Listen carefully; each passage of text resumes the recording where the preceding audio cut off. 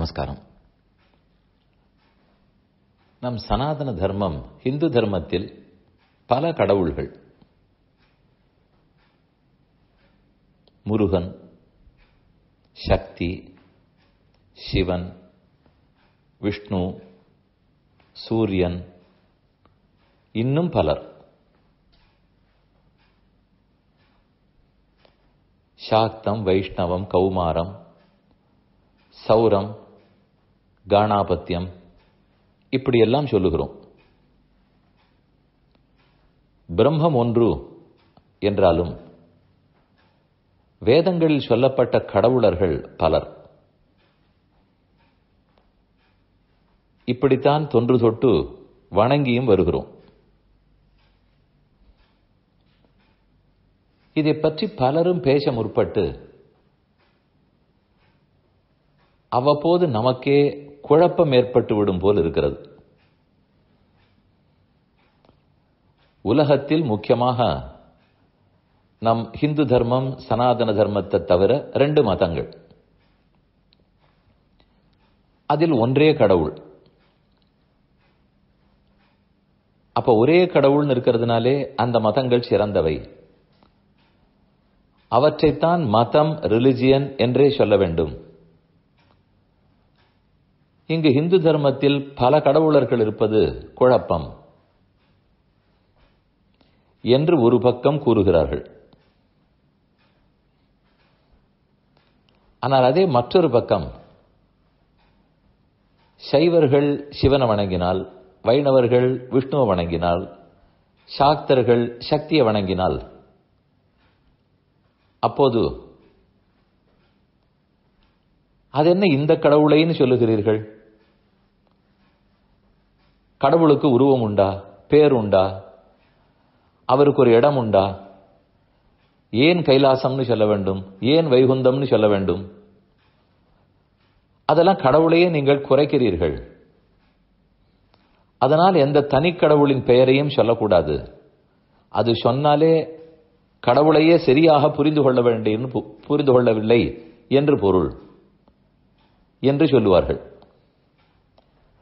நமக்கு அது பார்த்தா என்ன புரியாது? மற்ற இடத்தில் கொண்டாடும் போது ஒரே கடவுள் அதுதான் மதம் என்றார்களே. அப்ப அதே போல இங்கேயும் சைவர்கள் ஒரே கடவுள் என்று தான் சொல்ல போகிறார்கள். சாக்தர்கள் ஒரே கடவுள் தான் சொல்ல போகிறார்கள். அப்ப அது சரியான்னு கேட்டால் இல்ல இல்ல அப்படி கடவுளுக்கு பேர் சொட்டக்கூடாது. கடவுளை குறைக்கக்கூடாது. என்று சொல்லிவிடுவார்கள்.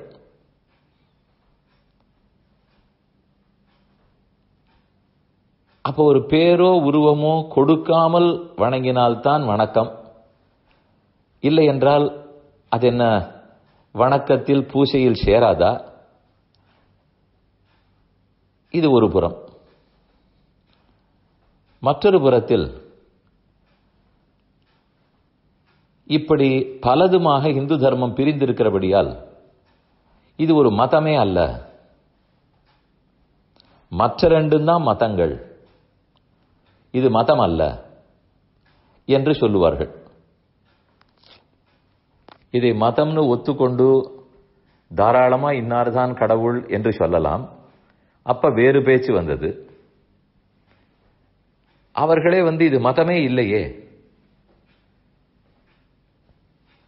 தனித்தனியாக பலதாகத்தானே பிரிந்திருக்கிறது. சரி இதை கேட்டுக்கொண்டு. அப்ப அந்தந்த சின்ன சின்ன மதம்னு பிரித்து பார்த்தாலே அந்தந்த மதம்னு பிரித்தா சிறுபான்மையினர் தானே. எத்தனையோ கடவுளர்கள். அதில் இப்போ ஒருத்தர் இந்திரனை வழிபடுபவர்னு வச்சுப்போம்.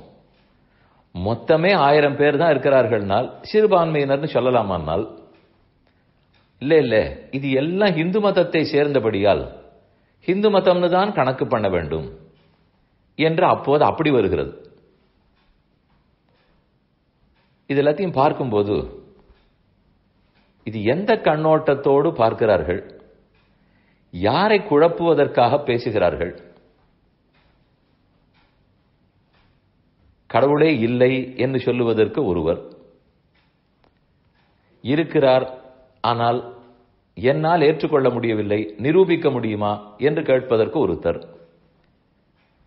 அப்படி இருந்தாலும் அவர் ஒருத்தராகத்தானே இருக்க வேண்டும் ஏன் பலர் என்பது மற்றொருத்தர். பலரும் இருப்பதுதானே பாரதத்தின் பன்முகம். ஒருபுறம் பாரதம் பன்முகம் கொண்டது அதை ஒன்றாக்கி விடாதீர்கள். அது அப்படியே தான் பன்முகமாக இருக்க வேண்டும் மாற்றக்கூடாது.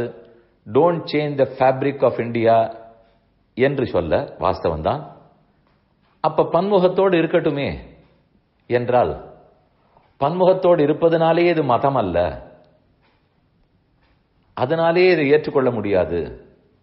பழைய காலத்தில் இதை மதமாக கொண்டதே இல்லை. இந்த கடவுளர்கள்லாம் பழங்காலத்தில் இல்லவே இல்லை என்று ஒரு மாற்று கருத்து. இப்படி பலதையும் வாசித்து வாசித்து கடைசியில் நாம என்னதான் யோசிக்க வேண்டும்? என்ன என்று புரிந்து கொள்ள வேண்டும்? ஒன்று தெரிகிறது. இப்படி பல வகையாக பேசுபவர்களுக்கு புரியவில்லை என்பது மட்டும் தெரிகிறது.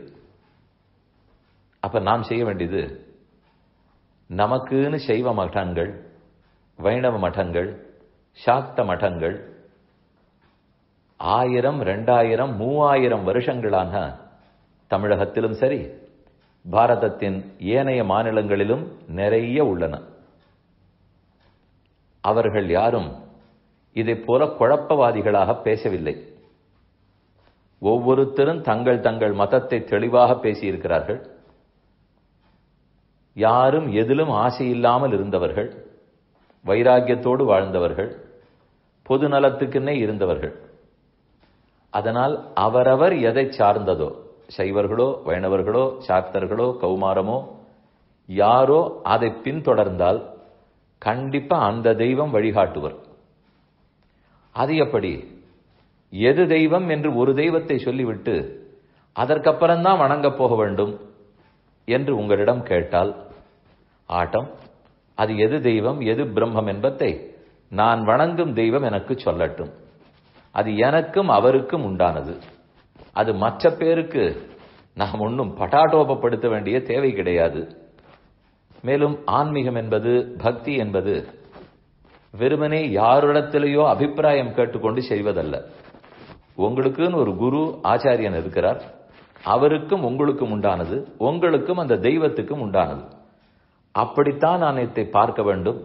அதை விடுத்து இவர்கள் ஏதோ சொல்லுகிறார்களே நம்ம இந்து தர்மத்தை பத்தி அப்படின்னு காது கொடுக்க போனால் காண்பரோ கேட்பரோ தாம்.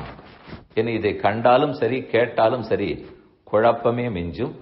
என அவர்கள் தெளிவுபடுத்துவதற்காக பேசுவதில்லை குழப்புவதற்காக பேசுகிறார்கள். ஆனால் நம்முடைய லட்சியம் குழம்பாமல் தெளிவோடு இருப்பது அதை புரிந்து கொண்டு அதற்குன்னு இருக்கிற பழங்காலத்து புத்தகங்களை வாசித்து அவர்கள் வழி நடப்போம்.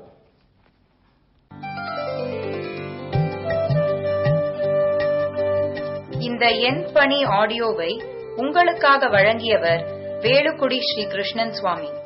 இந்த ஆடியோவை தினமும் உங்கள் மொபைலில் பெற கிஞ்சித் எண் பணி கே ஐ என் சிஹெச்ஐடி இஎன் பிஏஎன்ஐ என்ற ஆப்பை கூகுள் பிளே ஸ்டோரிலோ அல்லது ஆப்பிள் ஐ ஸ்டோரிலோ டவுன்லோட் செய்து கொள்ளவும்.